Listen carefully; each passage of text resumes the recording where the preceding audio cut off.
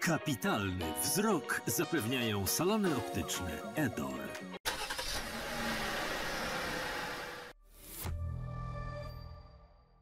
Cześć falubazy, ja nazywam się Weronika Tołoczko, a Wy oglądacie program Piąte Okrążenie. Zaczynamy.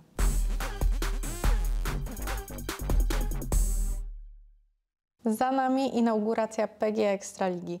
Tydzień temu nowy hotel Falubazy Zielona Góra zmierzył się na wyjeździe z Betard Spartą Wrocław. Zielonogórzanie na tym trudnym terenie zdobyli 41 punktów. Posłuchajcie pomeczowych wypowiedzi i zobaczcie skrót tego pojedynku.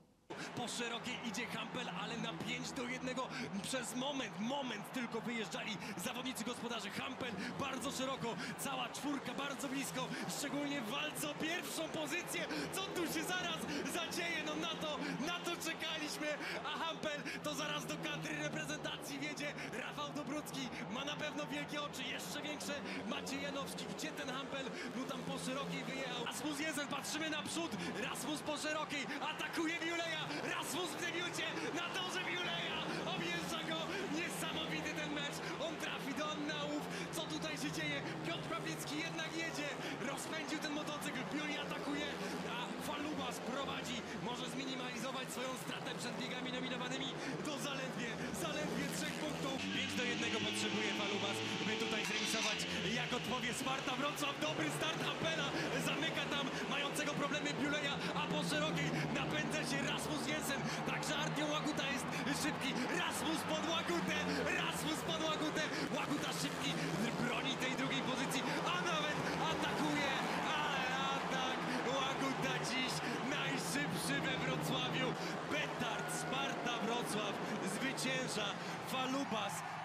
Sygnał. Jeszcze nas nie skreślajcie. Cała drużyna pojechała bardzo dobrze. E, troszeczkę może chłodnej głowy czasami zab- zabrakło e, w niektórych momentach, ale no, to są też emocje. Wolę mieć zawodników temperamentem niż e, dziś próbować ich zmobilizować do, do, do walki. Jarek tak, no, pojechał dzisiaj jak profesor. Świetny, świetny, świetny start. E, potrafił też zawalczyć. E, no ale żeby w Ekstralidze na wyjeździe walczyć jak równy z równym, to muszą być zawodnicy, którzy wygrywają poszczególne biegi, także e, tutaj, tutaj cała drużyna zasługuje na słowa pochwały i mówię, pomimo tego, że wracamy bez punktów, bo to jakby jest ważne, e, to wracamy z podniesioną głową i uważam, że te zawody są na plus i mogą nam dać dużo w przyszłości. Ogólnie mecz był bardzo trudny i bardzo, e, i bardzo e, e, emocjonujący chyba, no bo gdzieś tam ten wynik długo oscylował w granicach remisu, czy tam gospodarze nie wygrywali dużą ilością e, punktów, e, także staraliśmy się nawiązać walkę, o to chodziło, żeby, żeby cisnąć każdy bieg do przodu, żeby tą walkę nawiązać, żeby, żeby gonić e, naszych rywali i, i, i to poniekąd się udało. No, było kilka sytuacji dyskusyjnych, wykluczenia, które te sytuacje będą wyjaśniane i ko- komentowane. To zawsze trochę wybija gdzieś tam z rytmu, bo mecz się przyciąga, ale no finalnie myślę, że nie wyglądaliśmy źle. W tych biegach, gdzie przegrywaliśmy, no to nie, to nie było tak, że gospodarze nam odjeżdżają i jesteśmy bezsilni, bezradni, więc e, e, jakby w porównaniu do Wrocławian e, ten pierwszy mecz otwarcia był całkiem udany i dość optymistyczny, ale też z drugiej strony nie popadamy w optymizm, bo sezon trwa kilka miesięcy, tych meczów ciężkich, trudnych będzie jeszcze bardzo dużo i tak naprawdę z tygodnia na tydzień to trzeba robić wszystko, żeby pilnować sprzętu, wszystkiego, żeby to wszystko było przygotowane i, i żeby wszystko funkcjonowało dobrze. W czwartek odbył się sparring ze Stalą Rzeszów, który zakończył się wynikiem 67 do 23. Oto, co po nim powiedzieli reprezentanci naszej drużyny. Nie patrzyłbym w punkty, bo to jakby nie jest jakby sprawa e, najważniejsza i one nie odzwierciedlają tego, co będzie w niedzielę. Pamiętajmy, że przyjedą e, trochę inni zawodnicy, mm, inna stawka. Bardziej mi chodziło po to, żeby po prostu zawodnicy pojeździli, szczególnie e, młodzieżowcy formacji U24. E, Janek miał tam swoje problemy. Myślę, że dzisiaj e, było trochę lepiej. Bardziej to chodzi, nie mówię, nie o punkty, a o to, jak się zachowywały niektóre jego tam podzespoły motocyklu, e, ale, ale no, myślę, że dla, dla tych niektórych zawodników było to bardzo potrzebne, żeby e, pousuwać tam niektóre niedociągnięcia. Popełniłem parę blendów. Trochę ustaliliśmy sobie z teamem co i jak robić. Wyciągnę tylko wnioski, no i będę się starał poprawić to, to co mi się nie udało teraz w tym, w tym ostatnim meczu we Wrocławiu. Fajne starty, później dwa. Trasa całkiem ok, ale też małe błędy. No jest co robić, na pewno dużo pracy i też uważam, że wynik jest ok, ale też nie ma się co zachwycać za bardzo.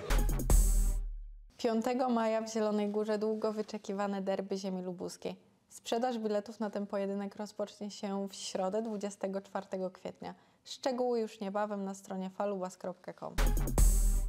W niedzielę przy W69 mecz z Zoolecz GKM Grudziądz, który na inaugurację przegrał na własnym torze z drużyną z Lublina. Posłuchajcie, co po tym meczu powiedzieli Robert Kościecha i Wadim Tarasienko. No tak, inaczej sobie wyobrażałem to. Miałem cichą nadzieję, że powalczymy o to o zwycięstwo i o dobry wynik. Nie udało się, przegraliśmy.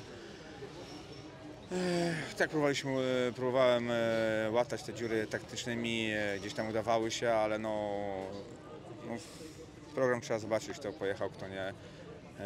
Dużo dziur, które sprawiły to, że zdobyliśmy dzisiaj 38 punktów. No i co, no, trzeba przespać noc, będzie ciężka. Jutro zabierzemy się do pracy dalej, bo sezon jest długi, no na pewno nie poddamy się, będziemy wszystko robić, żeby chłopacy, ci, którzy mają problemy, wrócili na dobre tory. Totalnie mi się wydaje, że na razie to ja jestem daleko w polu, żeby z, ustawieniami trenowaliśmy tutaj i mnóstwo silników przerobiłem i nic jeszcze w ogóle konkretnego nie znalazłem. Trudno coś określić z mojej strony, będziemy dalej szukać, e, przyjeżdżając tutaj na, na mecz, na treningi i oby to się znalazło, bo to na razie wygląda nie, nie fajnie.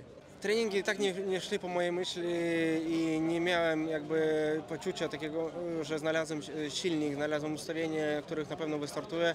Troszkę nerwowo do tego podchodziłem, bo tak naprawdę nie wiedziałem co, co założyć i przed, przed meczem miałem dwie ciężkie noce no, e, i dużo o tym myślałem.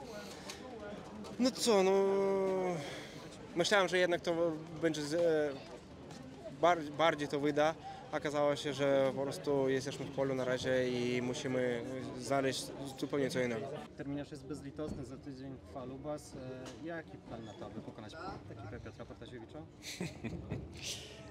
E, bardzo dobre pytanie. E, no na pewno plusem jest to, że w tamtym roku na DMPJ-ach e, bardzo dobre strony zapoznał się Kevin Małkiewicz i Kasper Łodziński, w miarę dobre mieli zawody tam, więc to jest plus. Jeździł tam Max e, też sezon czy dwa.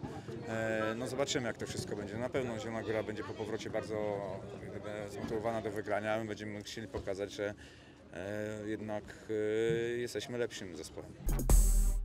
Jarosław Hampel i Tomasz Szymankiewicz byli gośćmi przedmeczowej konferencji prasowej. Jak się czujecie przed pierwszym meczem ligowym w Zielonej Górze? Tomku, zacznij proszę. Dzień dobry. E, Czujemy się dobrze, aczkolwiek zawsze jest troszeczkę dreszczyk emocji. E, Wiadomo, że chcemy wypaść jak najlepiej, jeżeli chodzi o organizację, e, a drużyna chciałaby się pokazać z najlepszej strony od strony sportowej.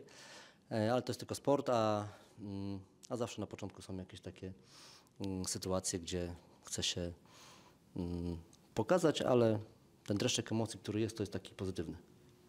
Dobrze, a ty Jarek? E, Dzień dobry. E, Tak, e, jesteśmy na pewno bardzo zmotywowani przed tym pierwszym e, domowym spotkaniem. Emocje, wiadomo, gdzieś tam pewnie pojawią się już bezpośrednio przed tym wydarzeniem, czyli w niedzielę. E, I na pewno będą to takie emocje mm, podwyższone, no bo to pierwszy otwierający mecz u siebie e, przed własną publicznością, więc e, to tak się mówi, ale zawsze jest dodatkowa, tak, dodatkowy taki stres, miejmy nadzieję, że bardzo pozytywny. Więc no, szykujemy się do tego spotkania, jak do kolejnego, każdego następnego, bardzo solidnie i bardzo, i bardzo bojowo. Całą konferencję prasową możecie obejrzeć na kanale Falubas TV. A teraz posłuchajcie, co przed meczem powiedzieli Piotr Protasiewicz i Jan Kwech. Ale no jeździmy w Ekstralidze, pamiętajmy, no przyjadą zawodnicy, którzy potrafią ścigać. Ja zachowuję pełną pokorę. Oczywiście się nie ścigam, ale Wiem, na czym sport polega i jakie potrafi psikusy sprawić. Myślę, że jesteśmy trochę wyżej notowani dzisiaj w meczu w niedzielnym niż to, co było w piątek, no bo widzieliśmy, na jakiej teren jedziemy. Ale nowe rozdanie, ja to się będę mm, powtarzał, będę tutaj nudny dla Was, e, dziennikarzy, ale no taki jest sport i tutaj uważam, że lepiej zachować trochę pokory więcej i a, takiego umiarkowanego optymizmu niż się zachłysnąć. No przecież nie będę patrzył w dzisiejszy wynik, no bo to absolutnie nic nie daje. E, bardziej mi chodziło, żeby bezpiecznie pojeździć, roz, rozruszać kości, jak ja to mówię. W takich warunkach mniej więcej, jak jest zbliżone do tego, co będą, mi się wydaje, że w niedzielę. No, jestem dobrze nastawiony, e, jak mówiłem, no, czuję się dobrze, e, przygotowywałem się na to przez całą zimę, e, tylko mówię, no, nie robię te, tyle blendów i, i to myślę, że nam się teraz udało trochę ustalić, e, jak ja to tak z teamem i, i po prostu chcę robić swoją, swoją robotę jak najlepiej umiem. Co możesz powiedzieć o drużynie z Grudziądza? Przed Wami ciężki mecz, czy raczej powinniście dać sobie radę? Przyjeżdża do nas e, i na drużyna i my będziemy się rywalizowali. E, w Ekstralidze jest są wyrównane drużyny, więc nie patrzę kto przyjeżdża i mówię, no chcę robić dobrze swoją robotę i chcemy wszystkich pokonywać. Ze względu na niekorzystne warunki atmosferyczne na torze pojawiła się plandeka, która ma chronić tor przed opadami deszczu. Prognozy pogody są jednak optymistyczne. W niedzielę ma nie padać, a opady deszczu mają ustąpić w sobotę w godzinach południowych.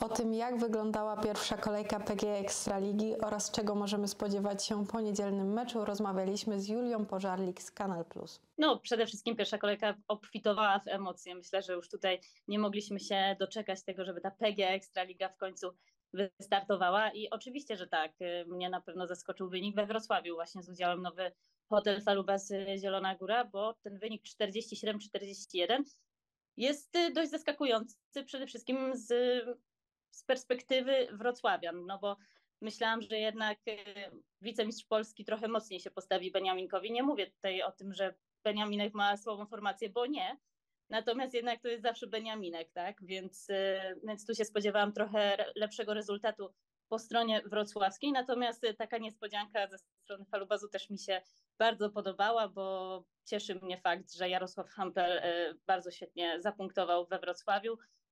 Bracia Pawliccy również jakby znają bardzo dobrze realia ekstraligowe, PG Ekstraligi. Tak jak tutaj też Piotrek Pawlicki na pewno no, dużo przekazał chłopakom z drużyny, bo przecież jeździł we Wrocławiu. No ale więcej na pewno oczekiwałam po stronie Taja Findena i Maćka Janowskiego. Może to też wynikać z faktu, że trochę Taja Finden też narzekał na to, że nie może się dopasować do swojego toru domowego, bo ten tor troszeczkę był twardszy, a on woli takie przyczepniejsze tory, więc może to też z tego wynikało, że po prostu nie mógł się dopasować.